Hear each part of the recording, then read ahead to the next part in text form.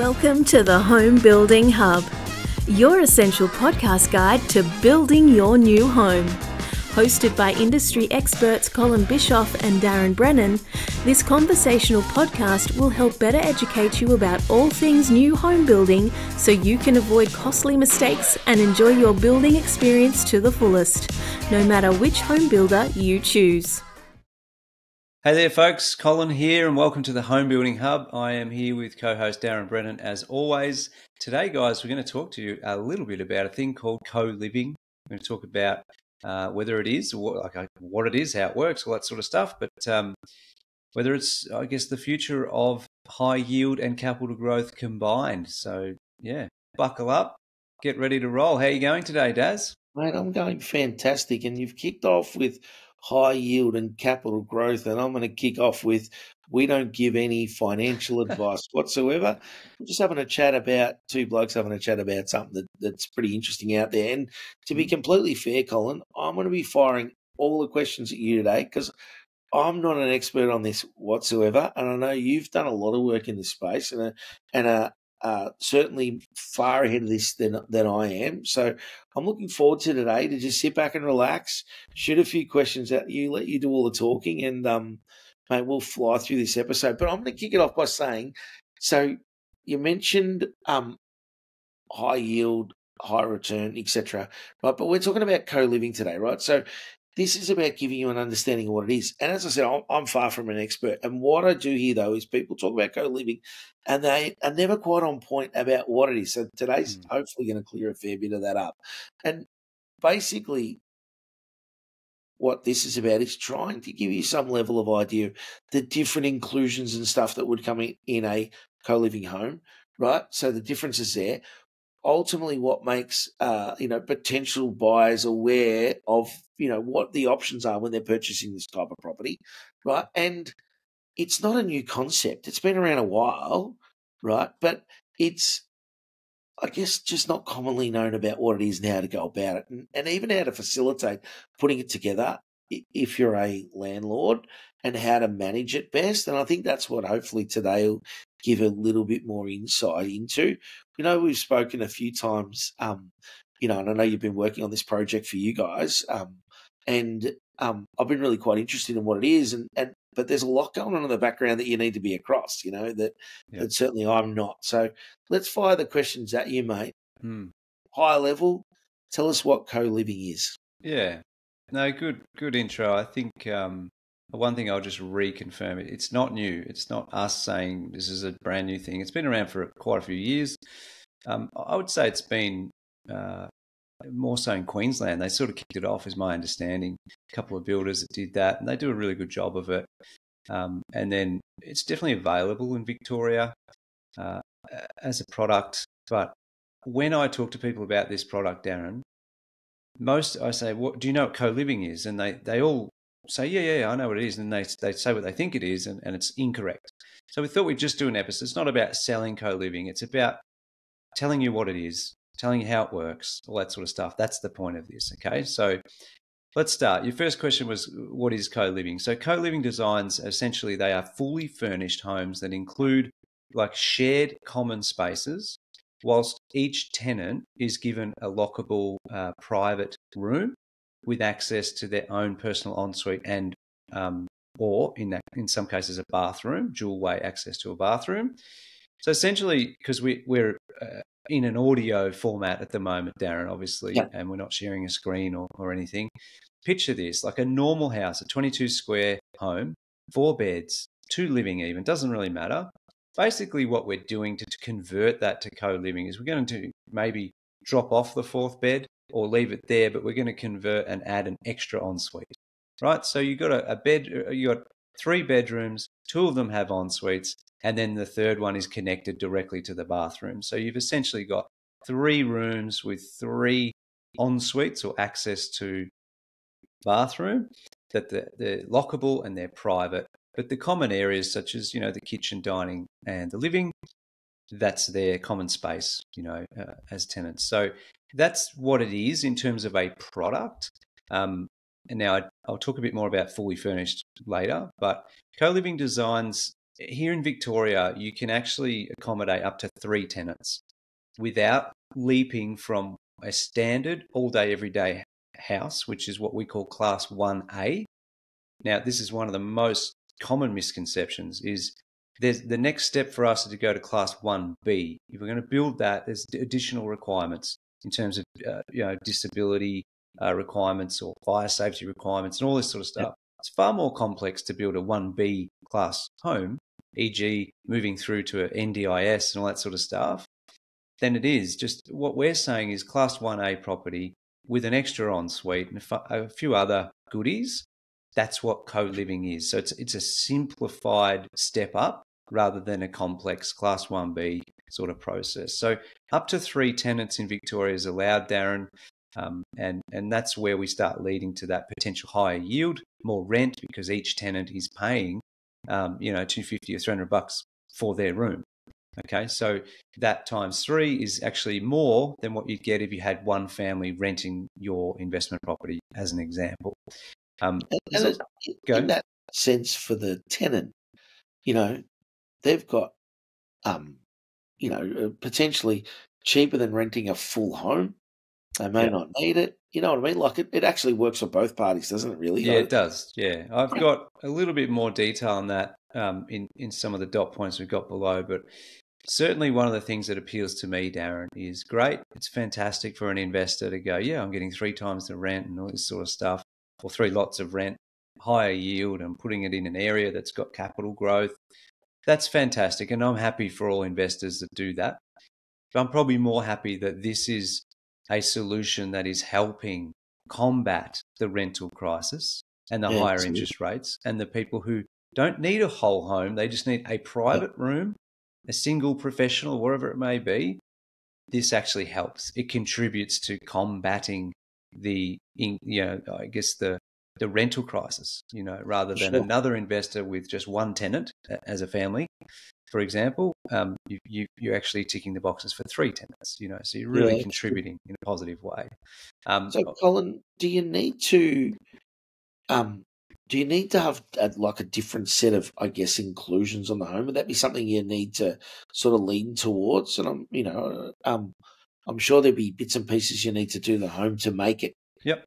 Yeah, and and I'm going to say make it ready. I'm not going to say compliant because I don't understand the compliance it, but to make it ready so it's ready for them to move into. And if it's ready for them to move in, then it should be compliant. Yeah. There, there are, Darren. So I think uh, trying to get people to visualize this, just remember normal house, we're adding an ensuite. Um, and that helps get you know three tenants. It helps affordability and loneliness, social isolation, those sorts of things. Um, and one thing I'd want to highlight before I answer, it's not about student housing there's actually a really large market of single professionals and even people in their you know, single females in their 50s, for example, is one of the most emerging markets of people looking for this product. Right? So you, know, yeah. you know what I mean? So you're looking for people who are not coming in to throw parties. People just want yeah. their private space. And, and part of those inclusions are obviously lockable room and access to your own pantry uh, cupboard and your own ensuite, right? Privacy, number one. Number two is uh, additional, I guess, PowerPoints to that room, TV point, data point, those sorts of things, so they can have everything they need from that front. The most important one for me is uh, split systems. So having what we would do in, in our case is we would actually remove ducted heating and we would put in um, four split systems throughout the house. So three bedrooms have one each, and then the common living area will have a bigger split system. Yep. Now nice. that obviously enables the the tenant. If you've got someone who gets gets really cold easily and someone who gets really hot easily, you can't just run the same temperature. So they can run their own temperature in their own room, um, which is obviously much more appealing when you when you're getting your tenants through. Um, which uh, that's probably a really pivotal one. Obviously, an additional ensuite, you know, with the toilet, the shower, towel, towel roll. Oh, geez, toilet roll holder. The um, I don't know what happened there, Daz. The microphone nearly fell over. Um, those We're sorts still of things. hearing you loud and clear, mate. It's all, all right. good. Yeah, so they're probably the main ones. Uh, I would say it's not a huge step up, which is why it's a more palatable option for investors because yep. it's it's okay. Additional ensuite, a couple of locks on pantry cupboards, and uh, some extra split systems, and that's pretty much loosely what what's required to get you there yeah. for sure. I know um, when we spoke a couple of weeks ago about this, one bit that I was sort of trying to get my head around um, was um, the need to have it fully furnished, number yeah. one, and then also how's it being managed? Like you've obviously got a rental agent, real estate agent, rental agent, but how's that part? Um, you know, the property management side of it run. Maybe give us a bit of detail on that. Yeah, so furniture packs and property management. Um, I'll split them up a bit. So, furniture pack, co living design needs to be fully furnished because what tenants are seeking now, remember these tenants we're talking about, they they don't come with a dining room table and a couch, right? They they're, they're what they call suitcase ready tenants. Okay, so they want to walk into a home that is fully furnished that they can they can just you know bring in the suitcases and, and they're done. So you as the owner will need to provide that. Now, thankfully, there are property management companies out there that, as part of their property management service, they will provide a furniture pack, all done, right? So one of the i guess we we've got one that we deal with ourselves and it doesn't matter who that is because you can find whoever you like but in that case they give a furniture pack which includes actually darren a really extensive list so i'm talking about a bed bedside tables bins artwork all that stuff just in your room and they give dining room table couches uh, all that sort of stuff the tvs everything tv in each room right down to the pegs the iron the you know the washing machine, the dryer, the fridge, wow. the kettle, the toaster, the the cutlery. It's all in one big pack. They've done it a hundred times before, well more than that, and it's nice and simple. So usually a furniture pack, people are thinking, well, how much is all this stuff, right? To bolt on a um, the ensuite, the split systems, and the inclusions that we mentioned before allow for you know twenty or thirty k, right, on top of a normal house to bolt on a furniture pack is about 25k, depending on who you're going through. So you're sort of looking at 40, 50k more than a um, standard house and land package or standard house price. Uh, but I guess the returns are, there to offset that. So, now, given these are uh, investment properties too, and we had Theo from um, from depreciation tax appreciation Australia, Australia, yeah, yep. On you know having someone like that in your in your um, camp, I guess, helping you through all that side, all that stuff would be definitely very quickly depreciated, and just adds to the reasons of why you do it, right? Yep. So, you know, you, one, you're getting a greater return, but two, you're going to get this really cool depreciation too. So. Yep. No, I'm not an expert on that. Theo is though, and he's awesome. We did an episode with Theo a few weeks ago, mm um, it'd be well worth reaching out to and understanding you, how you can get that, Darren. So we've actually got a schedule done, a depreciation yeah, cool. schedule for the furniture pack. Fantastic. Obviously, you can get it for a new home as well. So there's actually quite a, a, good good amount you can you can pull back from that, which is helpful. And I guess one of the most important things that I really want to highlight um, the property management company that you choose is absolutely pivotal and vital. You must choose one that and, and it is imperative that you choose one that already has a strong track record in co living spaces. And the reason for that is they're going to help you with the furniture pack, which should include the delivery, the unboxing, the placement, the commissioning, and even the rubbish removal. Things that you wouldn't even think of until I've just highlighted them right now. They need to do all that. They also need to um, have a good, safe process and, and logical process to get the tenants, right? So, do they have proper agreements in place with a tenancy agreement per tenant with um, a set of house rules that they all commit to and things like that? All that needs to be done by people who know what they're doing so that it's airtight, so that there's no gaps in what it is that you're providing and what your tenants are expecting. Um, when people overuse uh, you know, the, the, split system in their room, to, the heater's on all day or the cooler's on all day they have they have contingencies for all that to make sure that um, it, it's all well, well, I guess well looked after. on holidays for two months and left it running. Yeah, yeah. So the, the, all that stuff's been looked at and addressed before um, through many lessons over the years. I think. Um, of course. Yeah. So uh, just to just to say that that property management company is key. Uh, that's something that you would, uh, I guess, enlist and engage yourself. But we'd happy to put you in touch with them. But it's more around okay, get a normal house and land package with some differences in, in inclusions because it's co-living. The design's slightly different. Um, um, but yeah, once that's done, you can go and meet with the property management company early uh, or a couple and select you know who you want and, and go from there. Yeah, very cool. Um, I guess uh, maybe there's some good reasons why you'd want to choose a co-living investment property over a traditional investment property, obviously um, the financials are pretty attractive. Run us through some of what you see out there happening in that space. Yeah, uh, look, we have to be careful here because it all depends on you know your design and your location, all that sort of stuff. But in theory, what what I need people to try and understand is that you, you're getting three lots of rent instead of one. So naturally, it's going to earn, you know, it could earn eight to nine hundred dollars a week instead of a, a five or a six hundred for the same area, um, same size property. That is absolutely possible, and these are backed by appraisals provided by a co-living uh, property management company. So they'll give you that appraisal up front. So high rental income, Darren, is is probably one of the most amazing things that pop up. Yeah. Um, there are additional costs up front you need to offset as well, right? So the furniture pack and stuff like that. So it's not all it's not all just one way traffic. You need people to understand there's a bit of a process to understanding how this works. So we're trying to get you to understand a little bit more, educate you on that so you can have those discussions with the broker, with an accountant, with the people you need to to make sure the numbers stack up for you. Um, cash flow positive, I think that's something that hasn't been seen for a while. So that that positively geared property, you can definitely get yourself in that position. You've got the right house, the right location.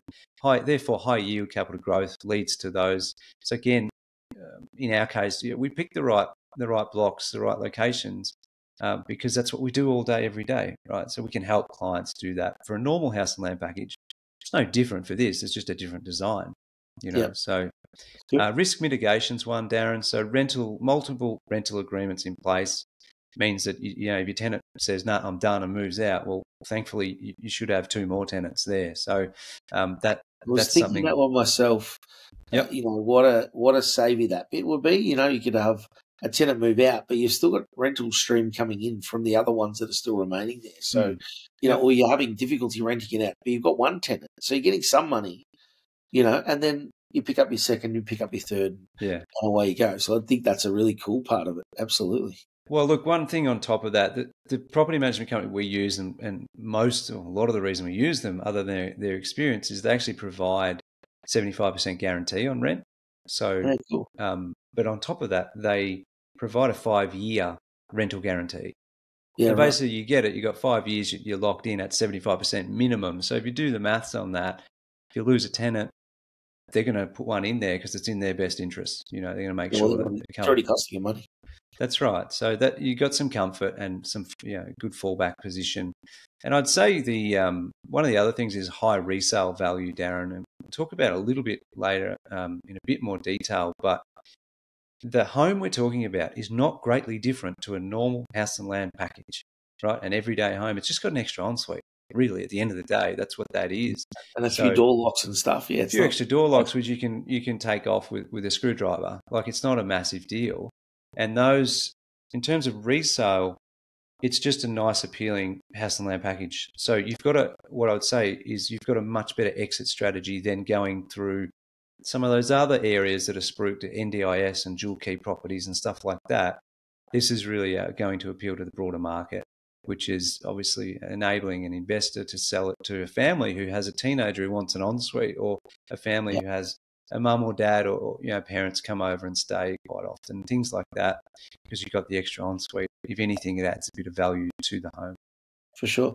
Um, Obviously, um, yeah. this is helping the rental crisis, and we know that's a, a big issue out there. The government is spruiking on about it all the time at the moment. This, you know, shortage of homes, and obviously this means that you can have, um, you know, essentially three individuals or uh, or potentially the three couples, I guess.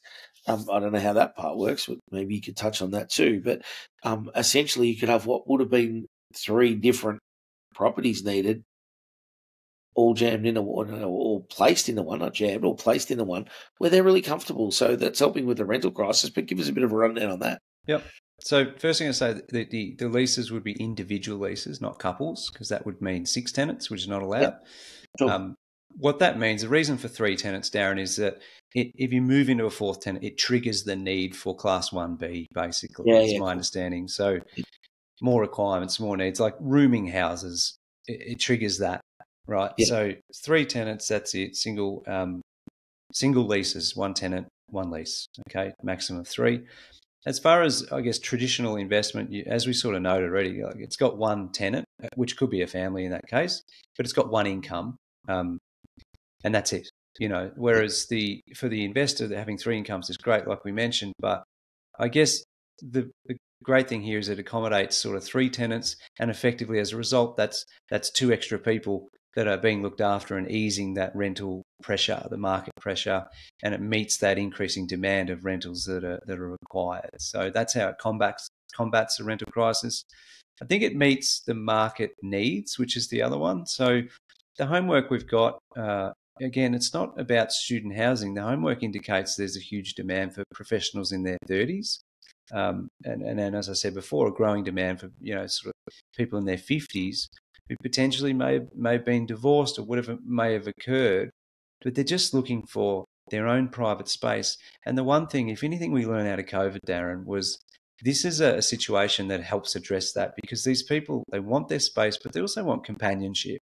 You know, yeah, there's some some sure. mates to hang around with, some people to you know go go and watch a movie with, or or do some sports or whatever. You know, so that's that's something that's really come out of COVID, and I think that's what put this really on the map in terms of a product that's appealing to and helping an investor, great, the owner, but also the people who are living there. Like they're the ones who can benefit from this and pay 250, 300 bucks a week rather than having to pay four, five, six hundred for an overall home. Yep. And uh, it gets them in a position where they can help potentially get closer to their own home one day as well. You know, like there's there's really good benefits. Um, I see um yeah. Colin you know, sort of leading down that same path. I mean, I live in Ballarat. You know, I can imagine someone, you know, and, and I know some people who do travel um, quite a distance for work. You know, and they want to, then they often stay. So they go down and they might work in Melbourne for the whole week, and then they come home on the weekend. Um, you know, for someone in that sort of situation too, a professional worker, etc. Um, you know, you could have one of these on the other side of Melbourne, that's your res- residence during the week. You're not there on a weekend. You couldn't care less what happens on a weekend. You don't need much. You just need a bed. It's cheaper than a hotel. Um, yeah. You know, it's uh, makes a you know real lot of sense. I really like where it's going.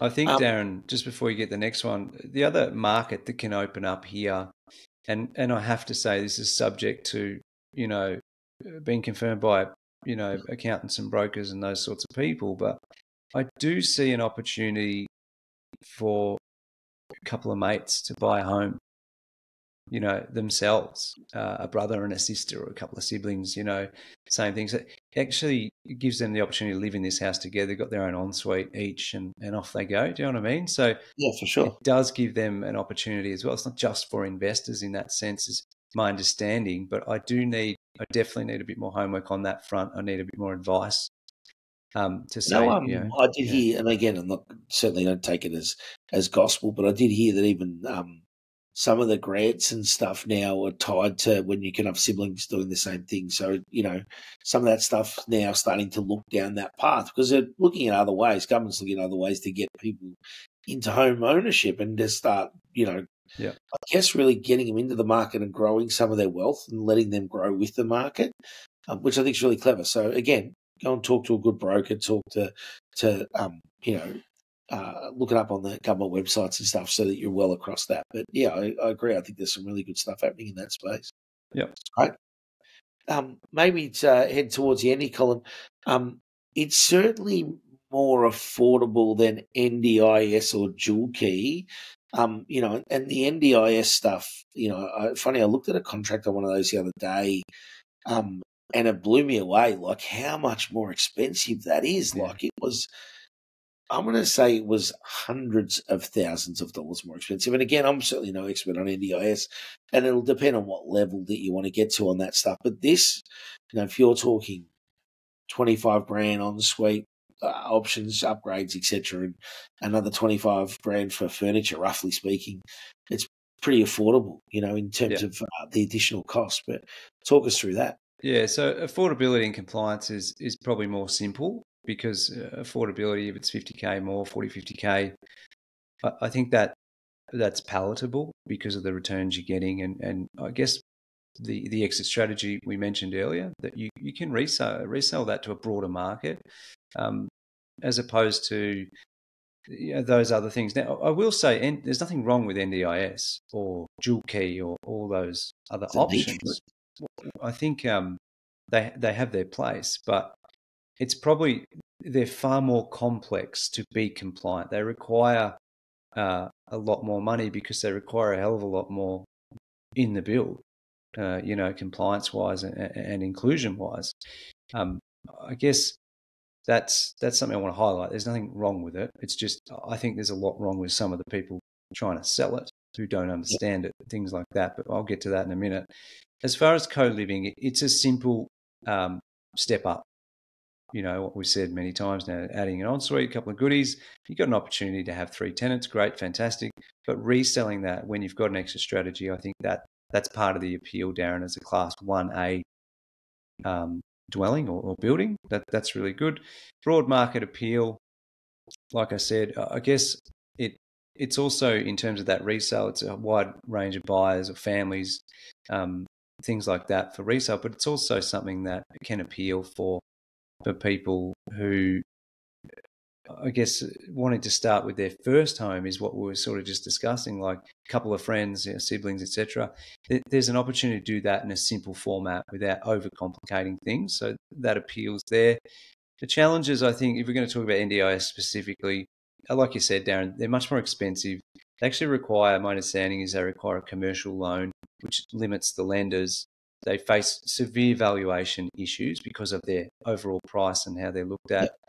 Massively they have stringent compliance requirements. Like it's a, it's a pretty complex thing um, and, and it makes occupancy and resale really difficult. Um, and with dual key uh, essentially that uh, that's something that's done in other states mostly quite often and there's some great positives to dual key but i would say again but they're more expensive and they're actually pretty hindered on their capital growth okay so they're probably a couple of things that we don't have to worry about as much, and it's a bit more simplified with co-living.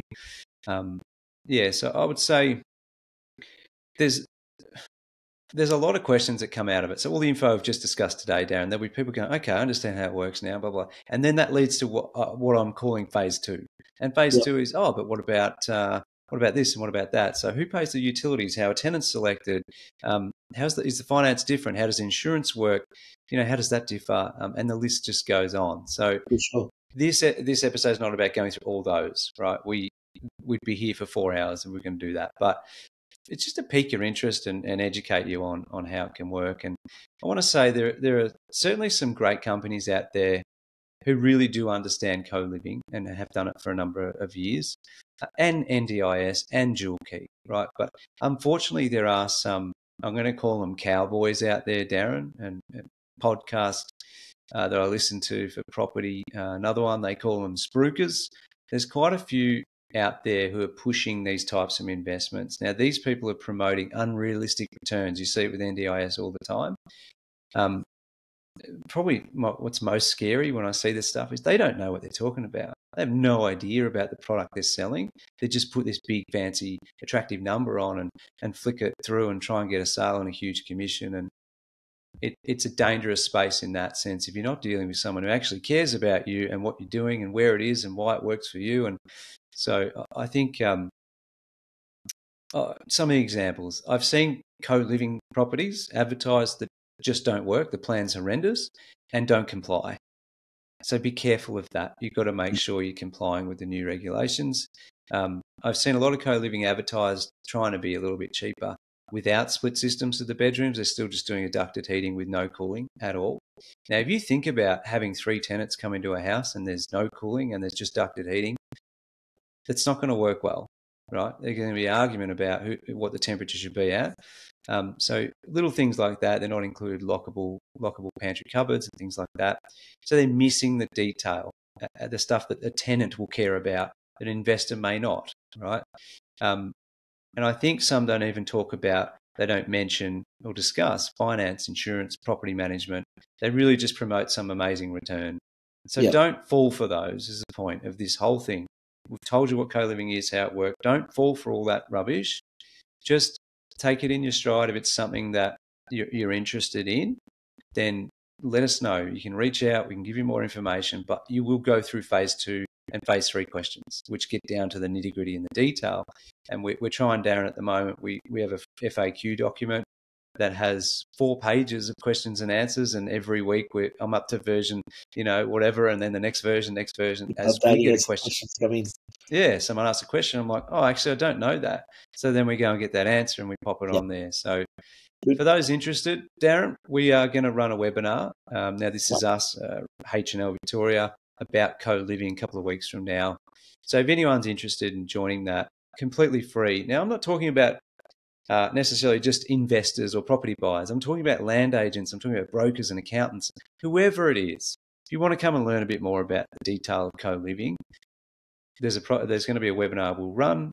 As I said, it's free. Just register your details and off you go. Like we will have um, the property management company will come and join us on that, and we'll go from there. So That's I don't great. mean to promote it, Darren, I guess, but it's, no, mate, yeah, it's something that will help. Important. I think it'll really um, cement people's uh, knowledge on the subjects. I think it's great. Um, mm. Obviously, uh, we'll put a link to the um, webinar on our website, homebuildinghub.com.au. Um, yeah, no, I think uh, if you're keen to learn more, jump on the webinar. You'll really pick up a whole lot of detail at that point too. So, yeah, great, mate. Has it I given think, you uh, some insights? Yeah, absolutely. I think yeah. I've taken a fair bit away from this episode. I'm feeling like uh, I'm the novice sitting here learning along the way, and that's part of what this is about, mate. We've all got, you know, certainly between us, we've got different skills that I think we're able to share. And I think today, uh, mate, I've taken a fair bit away from that from you. So thank you. I really appreciate it. No Hopefully, worries. our listeners have done the same. No worries. They can have it for free, but I'll send you the bill, Daz. Beautiful. Thanks, mate. I appreciate it. Excellent. Well, guys, hopefully that's informative. There's plenty more to learn on that front for all of us, but uh, yeah, we see a good opportunity for it for for people who who like what they see, and uh, happy to help, I guess. So yeah, thanks again for watching. Thanks again for listening. Please leave us a five star review on the platform you're on. That would be very helpful. And uh, yeah, homebuildinghub.com.au for any questions. Let's go from there. We look look forward to seeing you guys on the next one. Thanks. Bye. Cheers. Thanks for listening to the Home Building Hub. As part of the podcast, we have to be a little careful to cover ourselves on a legal standpoint. So, we do have a disclaimer. Whilst we're all about providing value to you, this podcast should not be considered legal or financial advice. It does contain general information only, and you should seek out independent professional advice on your own personal situation before you make any legal or financial decisions.